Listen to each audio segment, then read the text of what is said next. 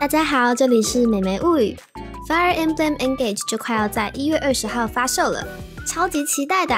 在发售前，官方已经有许多游戏内的消息，网上也有许多的试玩评测，看得眼花缭乱，又怕被剧透，所以我帮大家整理出了其中五个让人很期待的游戏要素，可以在入手游戏前先看看这次的 Fire Emblem Engage 到底有哪些值得期待的地方吧。战斗系统可以说是战棋游戏的核心。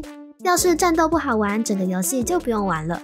而这次的 Fire Emblem Engage 版本中的一大重点——文章式，会让战斗系统的上限和自由度达到一个新高度。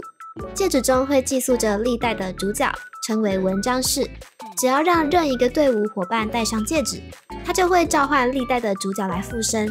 除了理所当然的增强能力、增加一些技能以外，最酷的是，戴上戒指后还会改变角色的外观哦。哎，等等，所有的文章是多达十几种，而所有可成为伙伴的角色有三十几种。所以说，游戏方制作了十乘以三十，也就是三百多种角色外观吗？也太多了吧！除了外观上会有变化，也可以从文章室继承一些技能等等。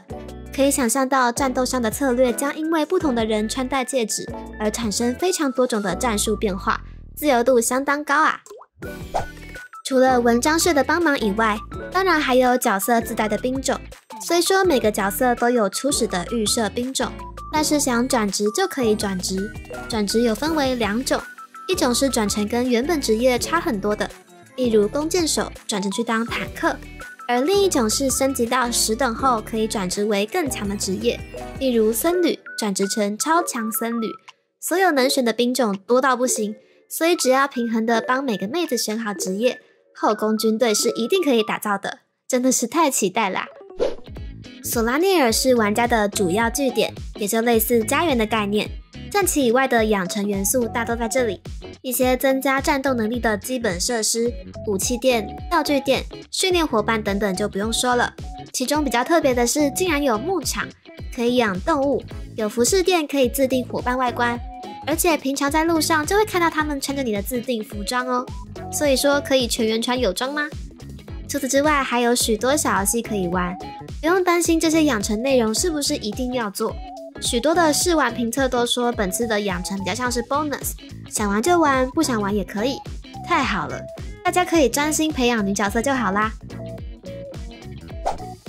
另一个让人说是期待，不如说是好奇的要素。是这种战棋游戏，竟然有办法连线对战。